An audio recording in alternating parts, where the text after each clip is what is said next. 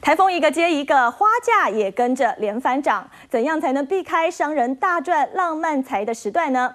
就有花店老板说，市售的无色汽水稀释之后，竟然也能延长花期。再过几天就是情人节了，不过现在却多了个电灯泡——天平台风。由于花价因为上次的风灾还没回稳，如今台风又要来了，玫瑰花的买气似乎不如以往。一两成，前接下来的订单一般都是比以往的单大概都呃递减一半。喂，贝奇花房你好。遇上特殊节日，花店总有接不完的电话。如果要避开涨价时段，提早买花也有小配包。